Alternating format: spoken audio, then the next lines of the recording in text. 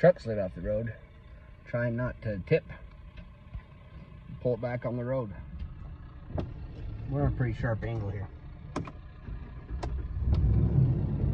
Dolders up there.